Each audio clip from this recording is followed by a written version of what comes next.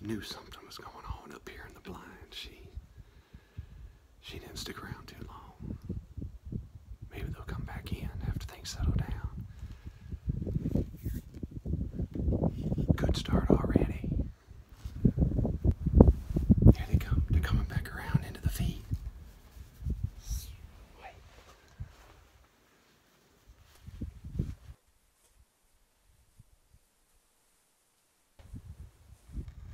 I'm still trying to get bundled up. It's cold this afternoon.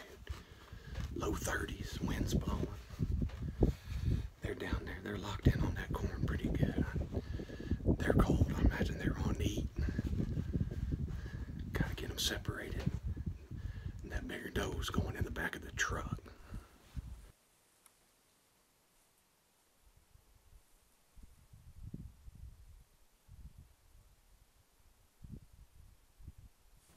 There we go. That other one's walked off and she's turned just right. It's about to get loud.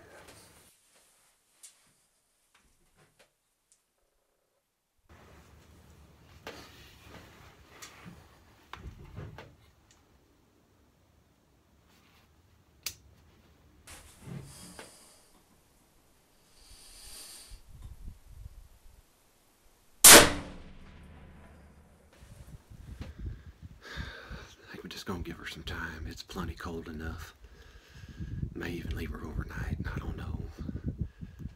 May go down at dark and look for some blood, but it's early. Sit here, see if maybe a hog comes out, and send another one.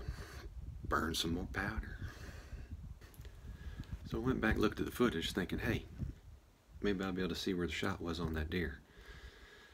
But this yo-yo went and forgot to set the tripod and tighten it once I got it on the deer. And when the gun went off, the camera went straight down. Great footage of some grass. So I shoot this doe, right? It runs off, doesn't even fall down, looks like it's hit. I couldn't tell, couldn't find any blood. Well, I couldn't see any blood from looking at her through the scope. And she runs off and goes around cedar trees. But little did I know, John, over 400 yards away, was videotaping me, and he actually got the shot on camera. And he sent me a text saying, man, that was a solid hit. So we went back and we looked at, we watched his footage, and you can actually hear the bullet hit the deer before the rifle goes off. And that is a good sound. So y'all listen to this.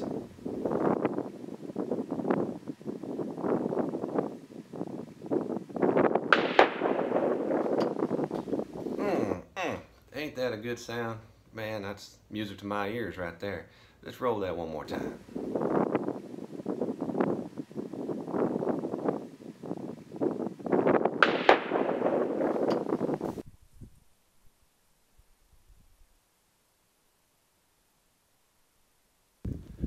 Pigs, pigs, pigs, pigs. There's three of them out there.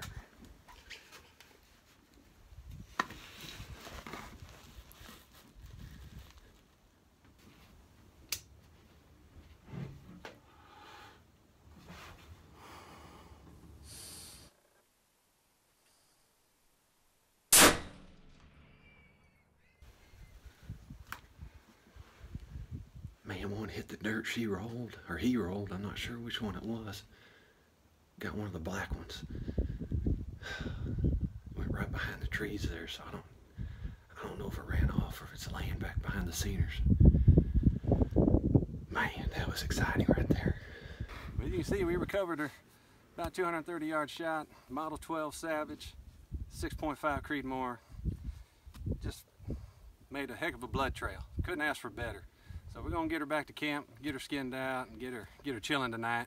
So uh, pork chops down tonight, baby. The powder's still burning. Thank you very much, sweetheart. All right. Well, the recovery went well. We're two for two. This is the doe that came out early. I mean, as soon as I got in the stand, she was walking down directly where she ran off to. And uh, finally gave me a good shot. She had that little one with her for a little while. had to wait a minute, but uh, man, couldn't ask for better. This is big old freezer queen. I sure do thank you, lady. And uh, if you ever want to know what the uh, 140 grain, 147 grain ELD match bullet can do to them, here's what's left of her lungs. I mean, it just plumb blew them out. We had a good blood trail. Started out a little small, but man, it picked up and she didn't go 50 yards. So we're gonna get her back to camp, get the tag on her, get her chilling right next to the piggy. Powder's burning, baby.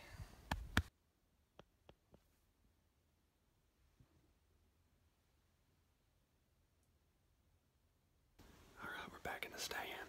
The afternoon. Temperatures are a little warmer, just lower 40s instead of lower 30s. So a little slow this morning. Hopefully, uh, this things will pick up. See what we see.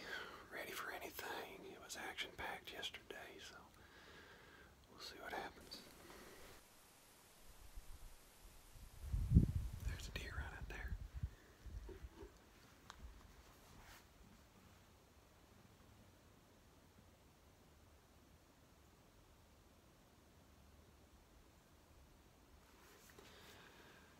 That's that big four point that should be shot. And if I didn't already have that doe on ice, we'd be putting that one in the back of the truck. But I'm just going to hold off. At least try to.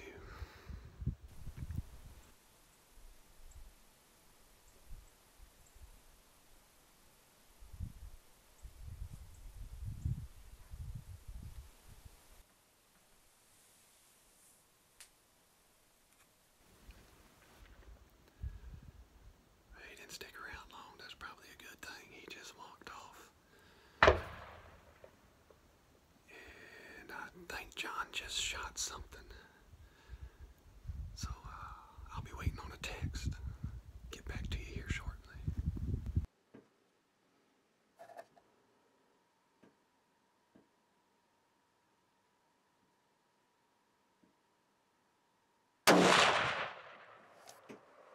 Just received a text from John, and uh, he did just get a doe.